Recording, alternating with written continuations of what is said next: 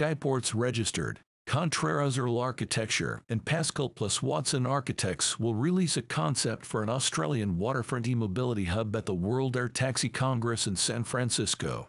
The group proposes that waterfront vertiports are a logical solution for retrofitting cities to accommodate eVTOLs. The current proposal will replace an existing heliport on the Yarra River in Melbourne, with a new purpose-built vertiport to accommodate the introduction of electric air taxis. The Skyportz vertiport would be a multi-use space. Under this plan, the site would also be a multimodal hub for electric scooters, bikes, ferries, and hire boats. A cafe would provide an area for people to view the action, says the announcement.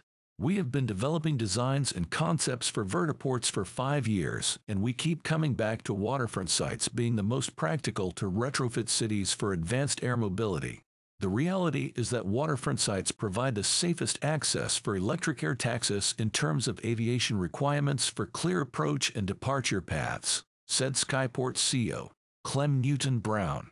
Waterfront sites are also likely to be one of the few places where land can be found to accommodate terminals, and there is also the option for floating landing pads. Paris has five vertiports proposed for the Olympics next year. They will be primarily using existing airports and helipads the one new vertiport they have chosen to be on the river. This aligns with our thinking that when cities need to actually choose vertiport location, the lowest hanging fruit will be the waterfront location, said Newton Brown. We are really excited to have developed this concept in conjunction with Contreras Architecture and Pascall plus Watson Architects, and it has great potential to be rolled out in waterfront cities around the world, said Skyport CEO Clem Newton Brown. This landmark building is the result of addressing many different important parameters, including sustainability, context, climate, community, and the user experience. The vertiport will feature a high-performance roof designed to be structurally robust, lightweight, and sustainable owing to its aluminium monocoque structure, the same system employed in the manufacturing of cars and aircraft. By embracing the latest technology, we are liberated from traditional building practices and forms, and free to explore more forward-thinking ideas. Melbourne is ahead by having two vertiports designed in its city. We are proud to be part of the implementation of this new technology and what it means for the future of Melbourne and clean, green travel, said Rafael Contreras, director of Contreras Architecture. Advanced air mobility presents a real opportunity to enhance our major cities with regards to both improved livability and connectivity.